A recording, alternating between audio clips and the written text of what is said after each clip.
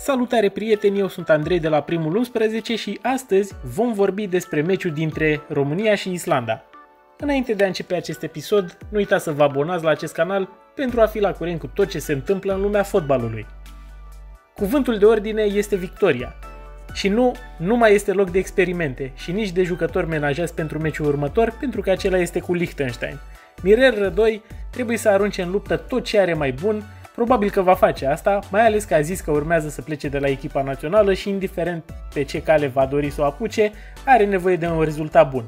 Probabil că în fața Islandei își poate pune în practică acea teorie de a ataca mereu. E de aștepta ca din cei trei mijlocași niciunul să nu fie pur defensiv, probabil că Nedelcu va rămâne doar o soluție de final dacă scorul ne va cere să ne închidem.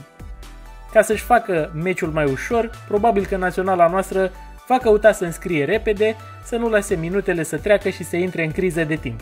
O problemă va fi și lipsa publicului, ne-ar fi convenit să jucăm cu tribunele pline, știți povestea cu al 12-lea jucător. Islanda nu mai e echipa de acum 5 ani care o bătea pe Anglia și intra în sferturile de finală ale campionatului european și nici echipa care se califica la campionatul mondial din 2018. Vechii internaționali fie au îmbătrânit, fie s-au retras, fie au intrat în conflict cu federația lor și acum refuză să mai dea curs convocărilor. Din vechea gardă au mai rămas doar trei jucători, uh, dar și aceia sunt destul de bătrâni, aflați la apusul carierei. Iar cei tineri deocamdată nu au niciun fel de experiență internațională și este un schimb de generație, cum a fost și pentru naționala noastră în urmă cu puțini ani.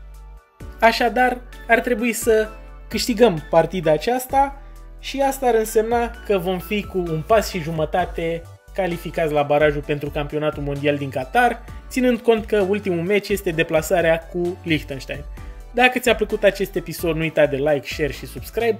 Eu am fost Andrei, împreună suntem primul 11 și hai România!